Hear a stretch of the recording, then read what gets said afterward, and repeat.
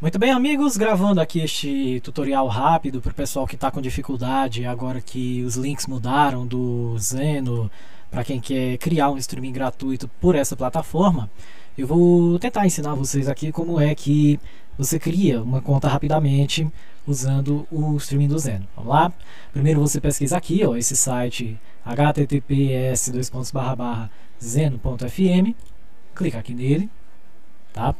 E aqui você vem em Sign Up. Né? Sign Up é para você se registrar, esse botão branco. Em alguns casos pode traduzir, quando você traduzir, ele vai ficar com o nome inscrever-se. Tá? Então você vem aqui, ele vai pedir para você registrar seu primeiro nome, seu último nome, o e-mail, a senha e confirmar a senha. E aí também confirmar que você não é um robô e também como é, bicho?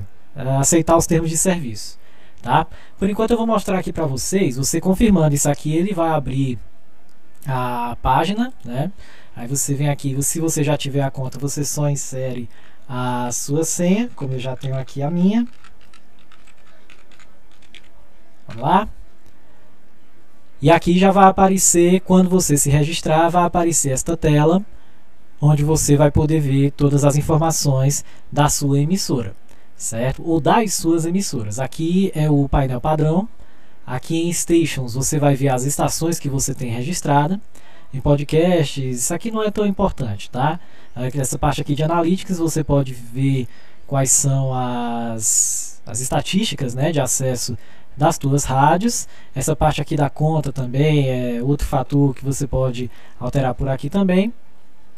Mas o principal é essa parte aqui da estação. Se você quiser adicionar uma rádio, criar uma rádio, você vem aqui em Add Station. E aí vai aparecer lá a janelinha de você criar, ó, por exemplo, aqui o nome da estação, a logo, o gênero né, da rádio, geralmente vem em inglês, e o país onde ela se localiza. Mas nós já temos três aqui.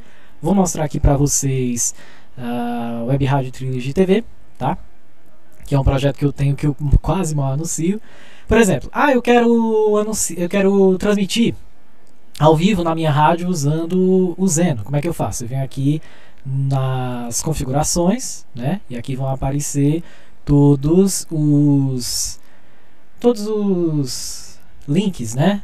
A configuração aqui, se for, por exemplo, a codificação de streaming, né, a quantidade que você quer que saia de bitrate, se é MP3 ou AC, e aqui também os dados do IceCast, caso você queira codificar.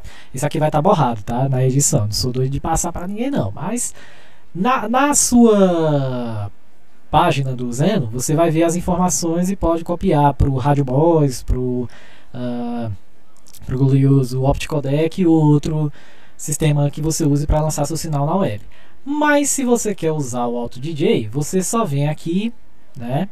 Uh, tem aqui as opções de você inserir as músicas. Aqui nem tanto porque essa rádio eu criei quando ainda tinha a opção de 500 músicas do Zeno. Agora baixou para 200. Para quem quer fazer uma rádio só no Auto DJ, não é não, é, digamos assim, muito vantajoso. Ó, você vê aqui que se eu pagasse para eles, eu teria direito a subir até mil faixas. O problema é que eles não pagam em real, eles não cobram em real, eles cobram em dólar.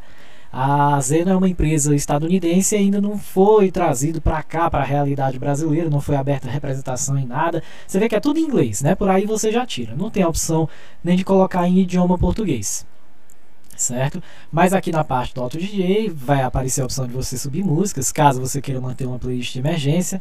Aqui tem também as opções, as configurações, né, de você uh, puxar, por exemplo, um relay ou criar um relay, a opção de geoblocking, que é você impedir que pessoas de determinados países ouçam tua transmissão.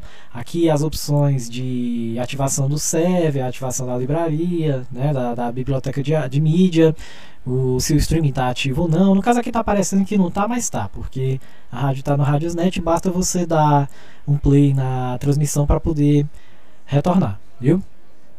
Então vamos aqui, Station Info, e esse failover aqui é importante. Esse failover, caso você queira uh, retransmitir o sinal de outra rádio, tem gente aí dizendo, ah, acabou, acabou o relay no Zeno e não sei o que, mas não, tá bem aqui, ó. Failover é essa função aqui.